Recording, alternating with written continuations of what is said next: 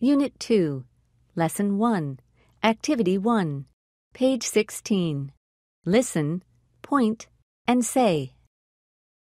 1, He's rich. 2, He's poor. 3, She's hungry. 4, She's thirsty. 5, It's clean.